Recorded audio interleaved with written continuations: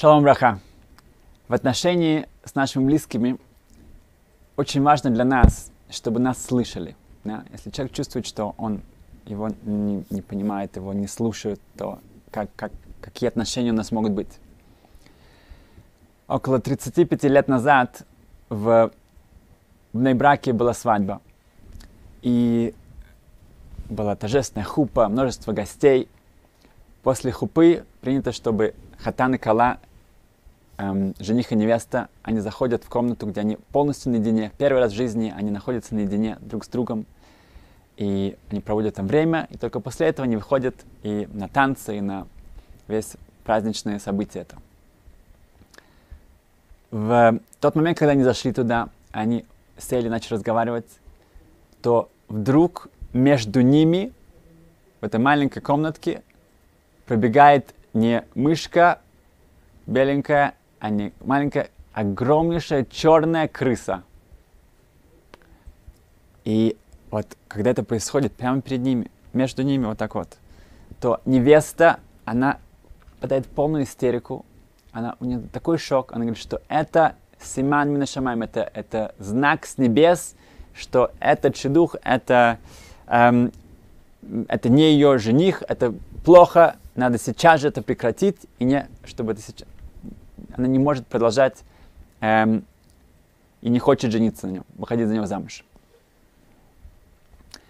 Это огромнейший шок для всех, конечно, не только для жениха, для всей семьи. Все гости, все пришли, там музыка, все ждут. И она говорит, что нет, она никуда не идет. Сколько кто бы ни приходил, ее как-то убеждал, они привели специально психолога, сел с ней, объяснил, что это, это вообще ничего не значит, это, это просто это какая-то крыса пробежала, это нет никакой в этом, эм, нельзя обращать на внимание, но что бы ей ни говорили, ничего не помогало. Она оставалась при своем. Эм, так как это была такая экстремальная ситуация, то отправили сообщение к Стайплер. Стайплер это был великий раввин того поколения, отец Рабхайм Каневского. И Стайплер сказал, что приведите ее ко мне. На брак в то время, это был ну, это маленький город даже сейчас, они эм, быстро помчались к Стайплеру. Стайплер обычно не, вообще не принимал женщин, только, но тут это было, опять же, нужно было спасать эм, эту пару, и он сел с ней и выслушал все, что произошло.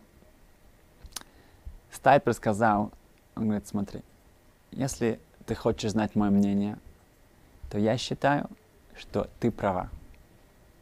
Ты права. Действительно, чтобы такое произошло в Ихуд, в, это, в этой комнате, в такой момент, это, это что-то странное, действительно какой-то знак. И все, что тебе психолог говорила, и говорит, и, и вся семья, это, это я не согласен с ним, я согласен с тобой. Когда она это услышала, она поражена, что Стайп, Годладор, главный раввин поколения, он говорит, что она права, и надо, она как-то начала вдыхать, ну, э, смотрит на него, говорит, Тогда Стапи продолжил. Говорит, ну смотри, сказано в Талмуде, что «эн ктуба беле тигра». Нету ктубы, нету, эм, когда происходит свадьба, когда происходит женитьба, то так как нужно решить много проблем, ну, ну, нужно решить этот договор заключ, заключается между родителями и женихом и невестой, нужно это Э, там начинается спор, начинаются какие-то разногласия, да, какие-то махлыки. С тигра это, это спор, какие-то, какой-то стресс. Представьте, если так сказали Хазал, наши мудрецы сказали, что каждый раз, когда происходит женитьба, каждой свадьбе там будет стресс, там будет какой-то неполадки. Значит, это так есть, так, значит, должно быть.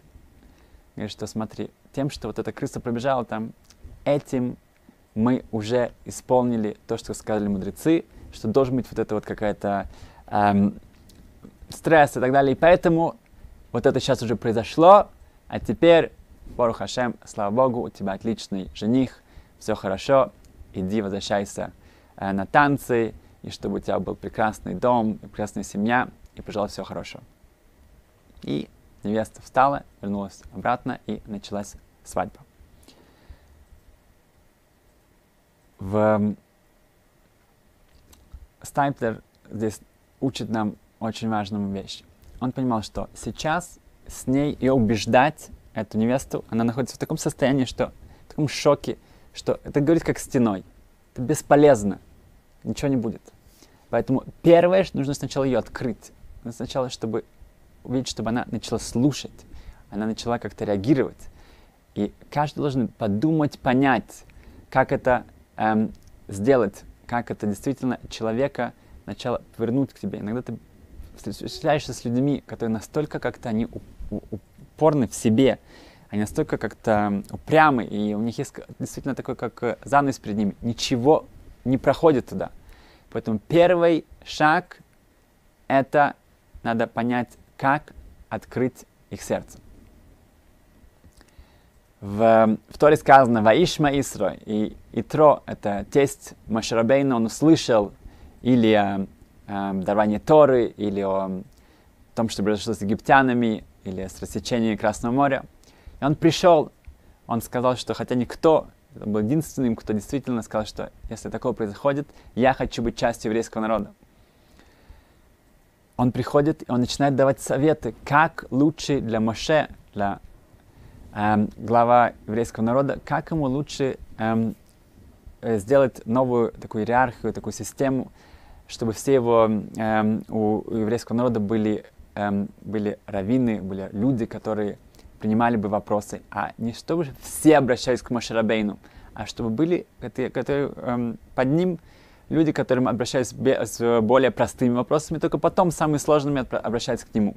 И сказано в конце, Ваишма Мойше. Мойше Бейну, Моше слушает Итро, и действительно его совет, он эм, одобряется, и это происходит в еврейском народе.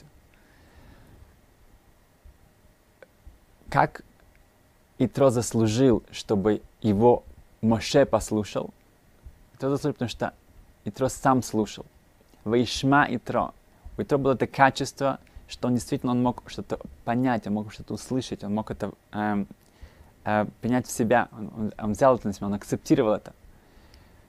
Это миды коннект миды, это мера за меру. Если у человека есть это качество, что он, во-первых, он умеет слушать других он не начинает сразу же э, говорить им, что им делать, как он это считает, как он правильно. Тогда очень часто это будет, это будет блокада, это будет, блокада, это будет как стена. Когда человек действительно в, эм, он, он научился слушать других, тогда тоже его услышат. И одна из моих любимых историй тоже показывает это. Был один парень, молодой парень, который в просыпается один день и говорит своей семье, что что-то он себя плохо чувствует, он чувствует, что его голова растет. Голова растет.